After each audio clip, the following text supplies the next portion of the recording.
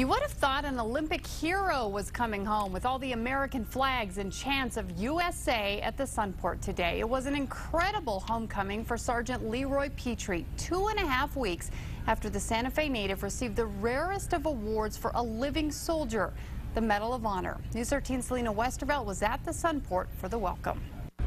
Kim, it's a double celebration. Army Sergeant First Class Leroy Petry. Not only is this the first time the Santa Fe native has been home since receiving the honor, it's also his birthday.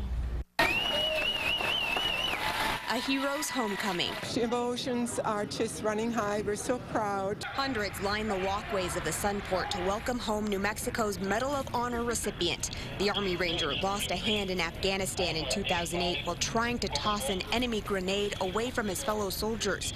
Petry is only the second living person to receive the nation's highest military honor since Vietnam.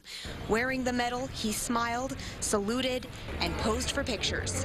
That young man went up and down and shook everybody's hands. Kay Morrison, who's from San Antonio, wasn't expecting to meet a national hero today.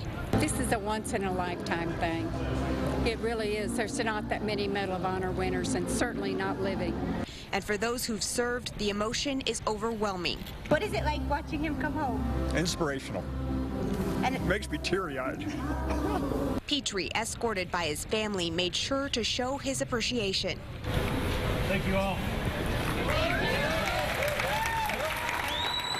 And seemed a bit overwhelmed by it all. Uh, I, I, it's neat.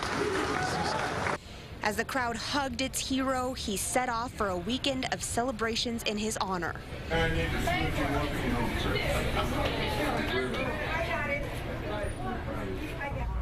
When Sergeant Petry left the Sunport, dozens of Patriot riders escorted him up to Santa Fe. The governor held a special ceremony for him there earlier this afternoon, and we'll have that coming up at 5.30. By the way, he turned 32 today. Back to you.